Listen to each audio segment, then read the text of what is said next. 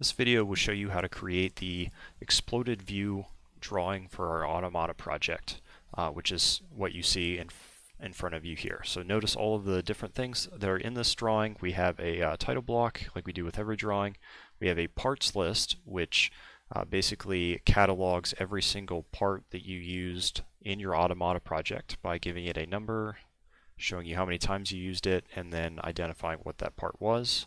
Uh, we have a fully assembled isometric drawing of your automata, and then this right here would be the exploded view uh, drawing, which notice basically just explodes your design so that it makes it easier to see uh, all of the parts individually as well as how all of those parts kind of fit together uh, to fully make your design. Okay, so we'll go ahead and get started by making this. Uh, you will want to make sure that you have this file downloaded and opened, which is the one that I posted to Schoology, which is called the Automata Exploded View uh, template. Okay, so we'll go ahead and uh, insert the, the easy things in here first, which includes the, the title block uh, and the isometric view. So we'll add the title block first. Click on the little arrow next to drawing resources then the little arrow next to title blocks, then right click title block, click insert. And then under the name field, you want to type in your name. And then under project title, type in automata. And then click OK. All right, and there's our title block. Uh, the rest of these fields will be filled in once we get a uh, assembly file in here. So let's go ahead and add in our assembly file, the one that was assembled that was kind of up in this top right corner. So uh, we'll click base, and then you want to click on the folder icon, and then just find where your assembly file is, and then click open. All right, and mine is giving me the front view first, but again, we want this to be isometric, so I'm going to change that to be the isometric view, and then I'm going to drag it up to close to where it needs to be.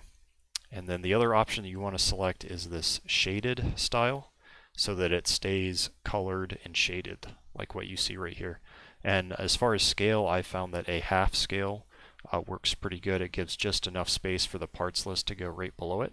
All right, so then click OK. All right, and there is our assembled uh, drawing. Next, let's add in our parts list. We're going to go up to Annotate, and then the parts list button is right here. So we're going to click on that. And then what it wants us to select now is the view to get all of the parts from. So obviously we only have one view, so we're going to just click on that one and then just click OK. And then you notice you have a box attached to your cursor now, and that is your parts list. So now you just want to drag uh, and place where your parts list will be on your drawing sheet. So I'm going to click it here and just kind of line up the right side of this table with the right side of the title block. I found that looks pretty nice. Uh, so again, you'll notice we have uh, basically each part is numbered, the quantity, and then the part number. We also have this description column here, which is blank, uh, and I am not planning on using that, so we're going to just go ahead and get rid of that. So uh, to do that, right-click on your parts list, and then go down to the Edit Parts List option. All right, and again, it's this description column that we don't want. So we want to just right-click, and then go to column chooser. And then the description column is the one that we want to remove, so click it here, and then just click the remove button, click OK, and then click the apply button. And then you'll notice that the description column goes away. Alright, so that was the easy steps to create our uh, exploded view drawing. The Last and most time-consuming part will be actually creating the exploded view uh, right here, which in order to make this, we need to create a presentation file uh, in Inventor. So you, to do that, you're going to go up to File, and then New, then Presentation. And what you want, it's going to pop up with this Insert uh, file window, and you want to insert your uh, assembly file in here first. So kind of navigate to where your assembly file is.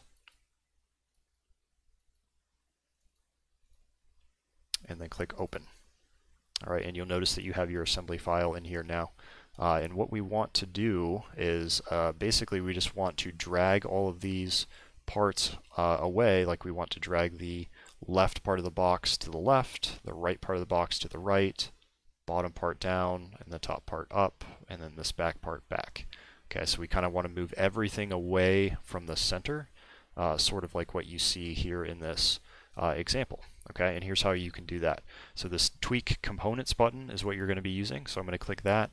And I found the best way to do this is to work from the center out. So I'm going to start with the uh, the sides of the box first. So I'm going to click the, let's do the bottom part first. I'm going to click the bottom and then you'll notice it gives you these arrows. Since this is the bottom piece and the center of our box is here, I, we want this obviously to go down. So I'm just going to click on this arrow and then just drag down. You don't have to be super exact with this, uh, as long as we can easily see pieces once they're expanded is, is what we want. So um, after you drag it down just a little ways, uh, you can either press the enter key or you can right click and click OK and then just move move on to your next uh, piece. So I'm going to go ahead and do this piece here since this is the right side of our box. Uh, that means we actually want to click on this arrow right here even though it's pointing this way. We're just going to click that arrow and then move it the, the opposite direction. I'm going to zoom out a little bit here. All right, and then you, you want to keep zooming out so that there's no overlap. So notice this bottom part of our box that we we just did before this. Uh, notice I don't want to stop moving it here because I still can't see the full part of the bottom box. You want to just keep dragging just like that until there's no overlap. So see how we can have a little gap between our parts now. And again, just hit enter or right click and click OK. All right, and you want to keep doing this for every single one of your parts and expanding it out. Um, I won't do the full thing in this video because that would be way too long, uh, but one more thing I want to show you how to do is, um, depending on your design, you might get two parts like these two follower guides that would need to be moved the same amount. Uh, and here's how you can do two basically at the same time, that if they need to move together, um, click on that tweak components button, and then when you click one, uh, hold down the control button on your keyboard and then click the other one. And you'll notice see how both have uh, blue outline now so they're both selected. And then when we drag it will move both at the same time. Okay? All right and then just click OK to, to stop that. So um, that's kind of just a brief tutorial on how to get your exploded view uh, done. Uh, when you're done with that make sure you go up to file and then um, save this in your Automata folder. Uh, you can just save it as Automata presentation. Um, and then what you want to do is you want to go back to your drawing. So let's say that that presentation is done. Now go back to your drawing and then click Place Views and Base, just like we did previously. And then here, instead of selecting your assembly file, you want to select the presentation file and then click open and then you'll this is the one that I did previously. Uh, I would change the scale to half. Alright and then click OK. Oh forgot to select shaded so go edit and then make sure shaded is selected. Alright, the only thing that's missing in this is if you notice I have these balloons with numbers on them which basically just uh, help catalog the parts uh, and identify it with the parts list here. So if we go back to this, I'll show you how to quickly add those. We go up to annotate and then click on this balloon. And then all you have to do is just click on one of your parts and then uh, left click once and then you'll notice that it will still be attached to your cursor even after you've clicked. Uh, if you right click then and then click continue, uh, it will just drop it where you clicked uh, the first time. So um, and notice that 14, that would be the follower bushing, which is uh, what that piece right there is. Uh, now, since this piece is also the follower bushing, you do not need to use another balloon to identify the same part since we already have that one done. So you only need to do each part once, even if you have a duplicate uh, of that part. So uh, again, you don't need to do every single one, just each part at least once. So that means on on my drawing sheet here I should have 15 or I'm sorry 16 total balloons uh, but I shouldn't have any number twice okay? But again once you're done it depending on your design it should look something similar to what we have here okay? So uh, good luck